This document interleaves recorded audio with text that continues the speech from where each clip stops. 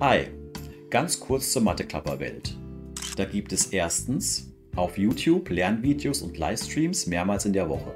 Themengebiete sind immer farbig gekennzeichnet.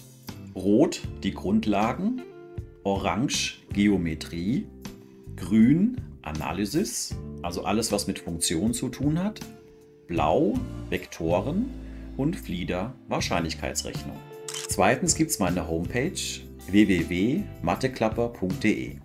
Dort gibt es meine Formelsammlung, den Matheklapper. Und rechts seht ihr, dass die Formelsammlung farbig auf die Videos abgestimmt ist. Ebenso auf meiner Homepage gibt es den Abi-Vorbereitungskurs. Das sind 42 Tageslektionen, wobei über 200 Aufgaben mit Lösungen enthalten sind. Dauert etwa 5 bis 10 Wochen, bis man da durch ist. Ja, und dann gibt es dort noch ein Online-Mathebuch mit sehr vielen Stichworten aus der Mathewelt. Okay, viel Spaß mit dem folgenden Video. Thema heute sind die Einheiten und da gibt es drei Dimensionen. Die erste Dimension, die zweite und die dritte Dimension. Wir sehen es oben links. Die erste Dimension beschäftigt sich mit Strecken. Also, wie weit ist die Entfernung vom Punkt A zum Punkt B?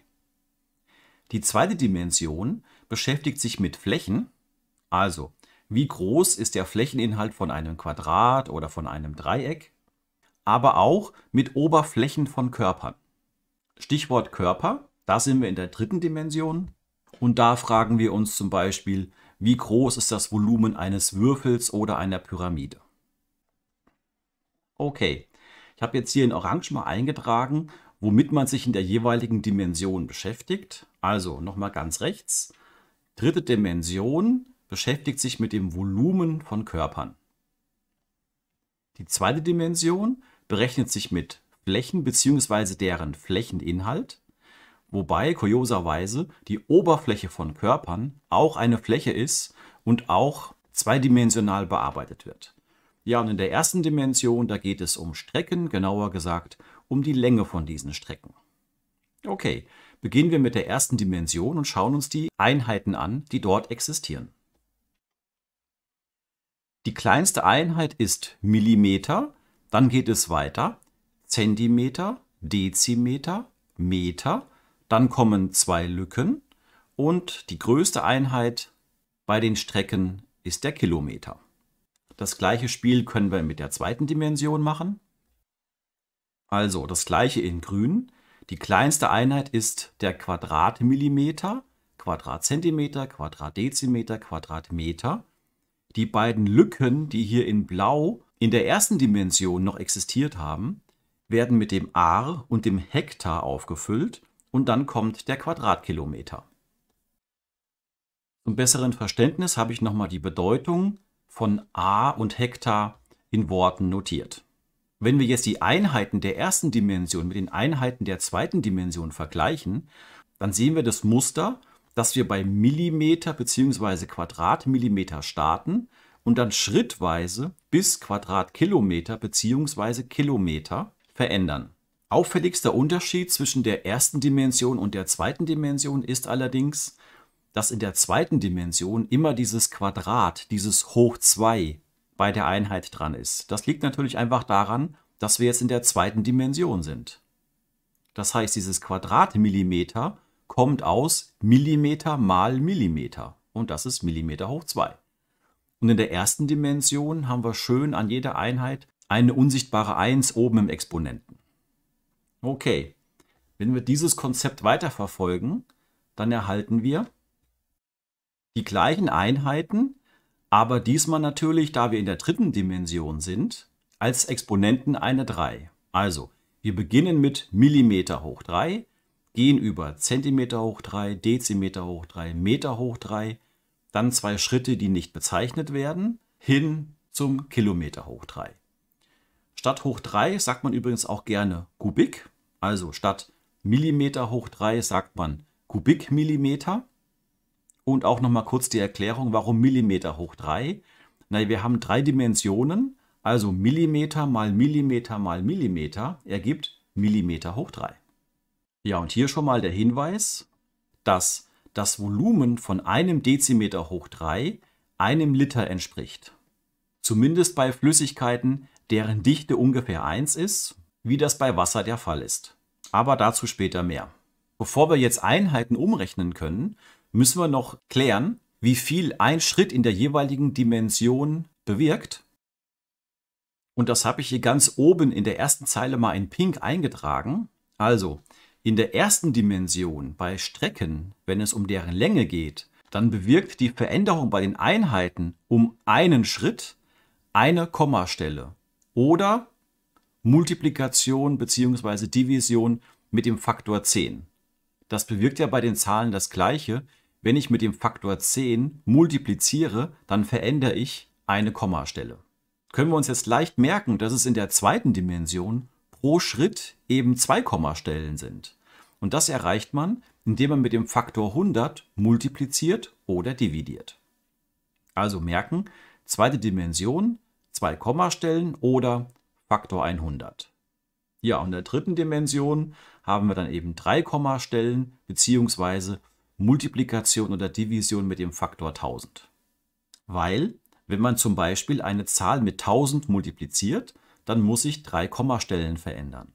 Wenn ihr jetzt selber mal Einheiten umwandeln müsst, dann würde ich mich an eurer Stelle für ein Konzept entscheiden. Also entweder würde ich mir merken, die Anzahl der Kommastellen, die in der jeweiligen Dimension zu verändern sind, also erste Dimension eine Kommastelle, zweite Dimension zwei Kommastellen, dritte Dimension drei Kommastellen, oder ich würde mir alternativ das mit dem Faktor merken. Also in der ersten Dimension muss ich bei einem Schritt mit dem Faktor 10 rechnen, in der zweiten Dimension mit dem Faktor 100 und in der dritten Dimension mit dem Faktor 1000. Natürlich ist es gut, wenn man beides verstanden hat.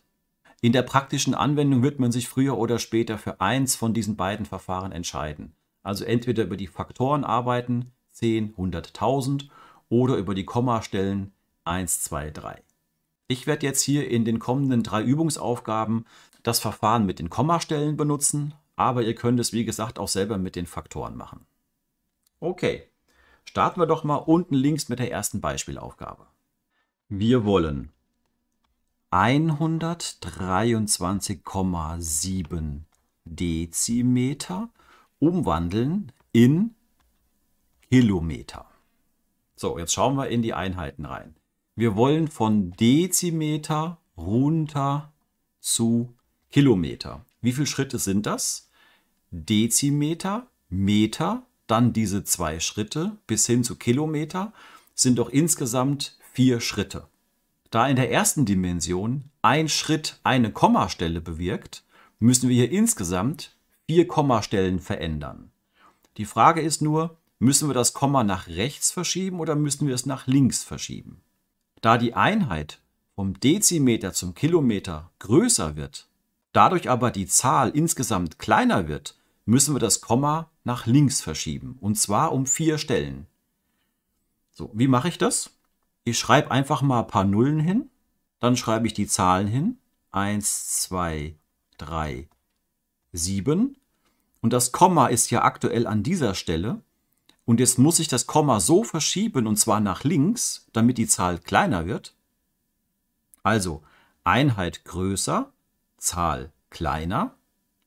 Also Komma nach links verschieben, in dem Fall um vier Stellen. Jetzt sind wir aktuell hier.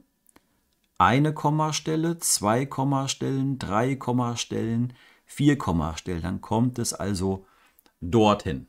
Ja, und die Null, die jetzt hier vorne zu viel davor steht, die kann ich einfach wegradieren. Weg ist sie. Also Aussage, 123,7 Dezimeter sind 0,01237 Kilometer. Ein klassischer Fehler wäre jetzt, dass man das Komma nicht nach links verschiebt, sondern nach rechts verschiebt. Kann ich auch mal machen. Ich schreibe dann die Zahl nochmal auf. 1, 2, 3, 7. Mache jetzt hier hinten einfach ein paar Nullen dran. So, das Komma ist aktuell hier vor der 7. Jetzt verschieben wir es mal um vier Einheiten nach rechts. Also 1, 2, 3, 4. Dann sind wir hier. Jetzt machen wir noch ein paar Tausenderpunkte rein, damit wir die Zahl schöner lesen können. Dann bekämen wir Einheit in Kilometer 1.237.000 Kilometer. Das macht keinen Sinn.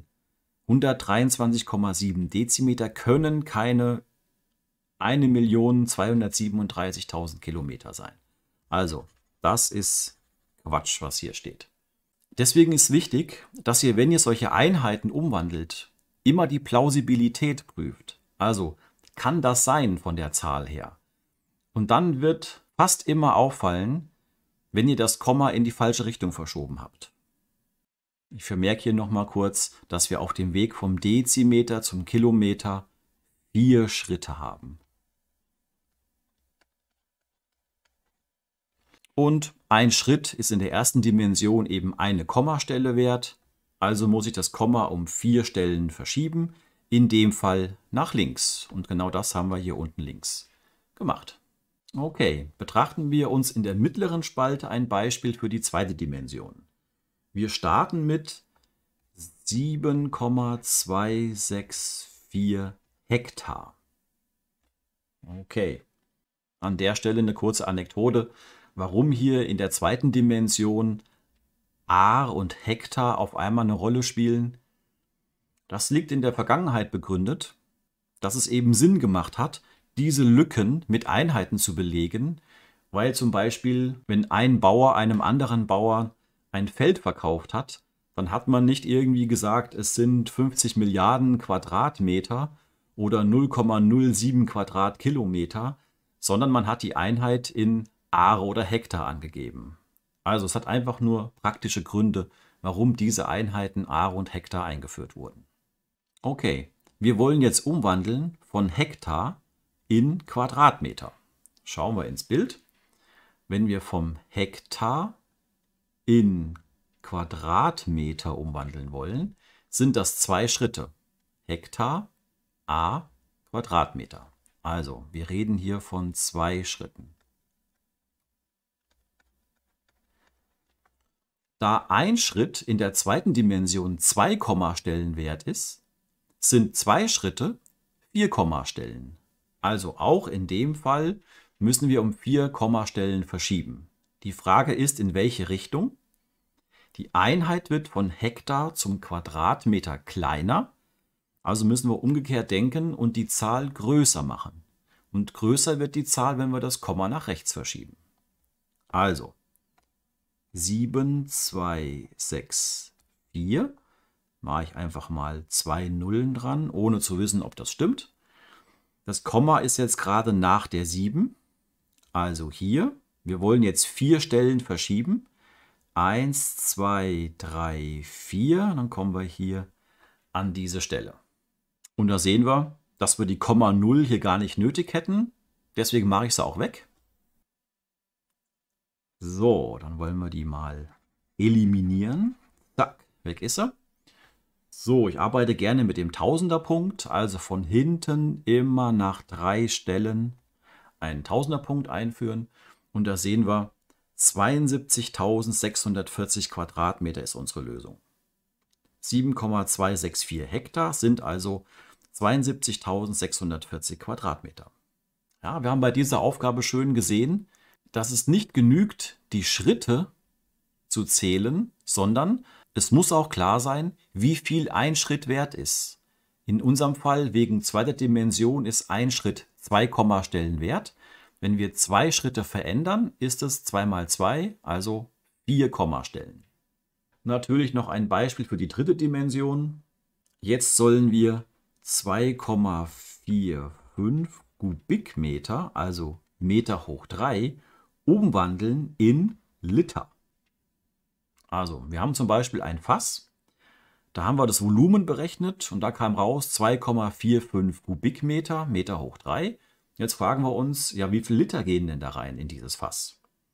Ja, da muss man auswendig wissen, dass Dezimeter hoch 3 das gleiche ist wie ein Liter. Okay, wenn wir das wissen, dann wissen wir auch, dass wir jetzt in der Aufgabe von Meter hoch 3 umwandeln müssen in Dezimeter hoch 3. Ja, also ein Schritt. Hier ist gerade mal hier an der Seite.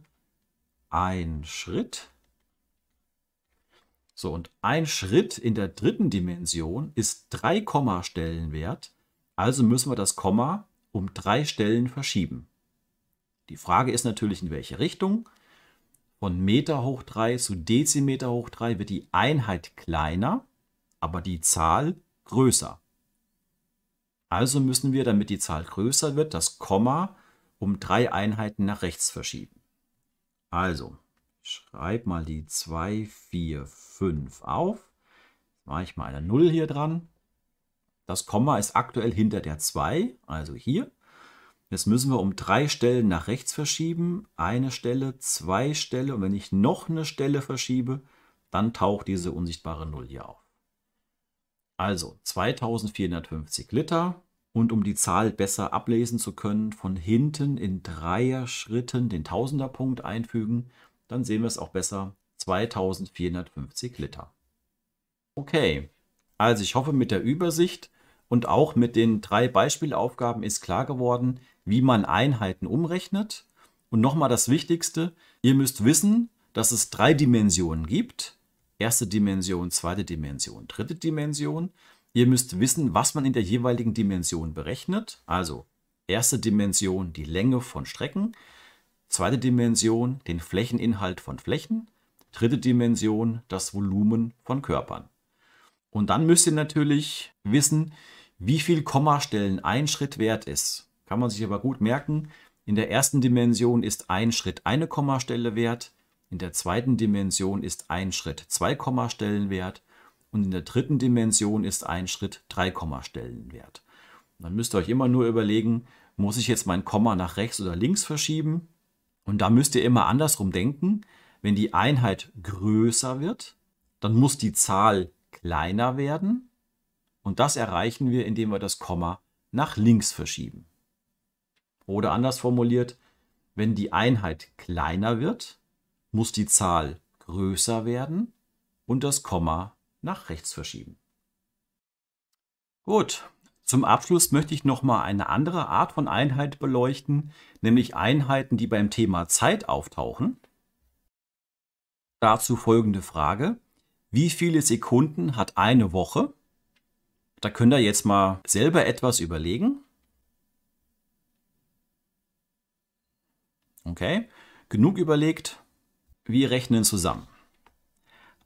Eine Woche hat ja sieben Tage und ein Tag hat 24 Stunden und eine Stunde hat 60 Minuten und eine Minute hat 60 Sekunden. Das multiplizieren wir einfach aus. Also 1 mal 7 mal 24 mal 60 mal 60 und erhalten als Ergebnis 604.800 Sekunden. Also hier beim Thema Einheiten im Rahmen der Zeit können wir nicht einfach rechnen mit Faktor 10, Faktor 100, Faktor 1000 und dann irgendwie 1, 2, 3 Nachkommastellen verschieben, sondern hier müssen wir aufgrund den Erfahrungen aus dem realen Leben wissen, naja, eine Woche hat sieben Tage, ein Tag hat 24 Stunden und so weiter und so fort.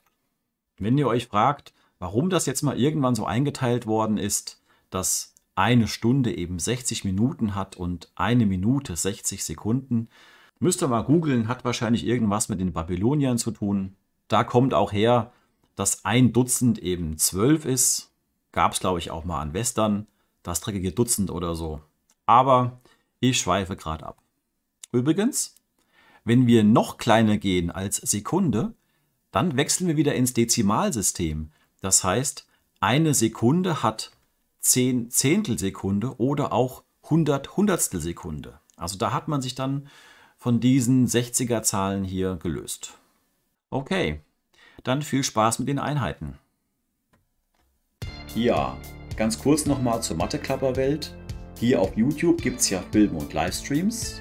Auf www.matheklapper.de gibt es meine Formelsammlung, also den Matheklapper, sowie die Abi-Vorbereitung und das Online-Mathebuch.